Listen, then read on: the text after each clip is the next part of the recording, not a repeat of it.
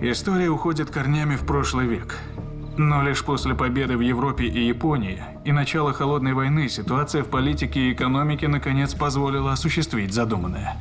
Этот заговор был масштабнее, чем Манхэттенский проект. Куда злее и дальновиднее. Не успели мы разгромить нацистов, как над небом Америки нависла новая угроза, способная уничтожить жизнь на Земле. Водородная бомба.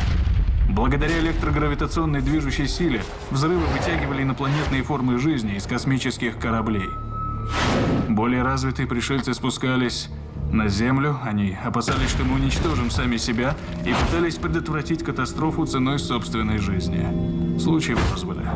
Или, что важнее, поселение ацтеков. Мировые лидеры подписали тайные меморандумы об исследовании инопланетных технологий и биохимии. Начались эксперименты на военных базах С-4, Грум-Лейк, Райт-Паттерсон и Дульсе. Извлекали инопланетные ткани. Люди инсценировали похищение, ставили на невинных жителях эксперименты, тестируя инопланетные технологии, изъятые с летающих тарелок. Создавали гибридные особи, изменяли генетический материал, насильно вживляя инопланетные эмбрионы. Но зачем нашему правительству лгать обо всем этом? Правительство всегда лжет нам ради собственных интересов. Испытание сифилиса Тоскиги на черных в 30-х, Генриетта Лакс. Чего же они хотят? Вот это и нужно выяснить. Но несложно догадаться.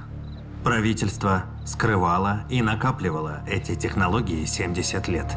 Ценой человеческих жизней и будущего планеты.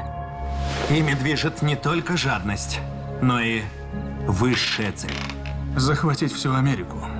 А затем и весь мир. Причем любыми способами, кровавыми, жестокими и действенными. С помощью засухи, начавшейся из-за климатической войны, в ходе которой в воздухе распространяли ядовитые вещества и электромагнитные волны. В состоянии вечной войны правительство создавало все новые проблемы, чтобы отвлечь, разозлить и поработить всех граждан Америки. Тому способствовали законы о борьбе с терроризмом и национальной обороне, которые сокращали Конституцию во имя национальной безопасности.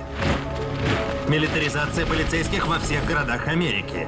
Федеральное агентство по чрезвычайным ситуациям без видимой причины строило тюремные лагеря. Корпорации взяли под контроль сельское хозяйство, фармацевтику, здравоохранение и даже военных, чтобы втайне управлять ожиревшими, глупыми, больными гражданами, наглухо погрязшими в потребительстве. Я призываю вас идти по магазинам. Правительство прослушивает ваши телефоны и безнаказанно следит за каждым вашим шагом. Оно готово в любой момент использовать эти сведения против вас, и наступит финальная битва. Завоевание Америки.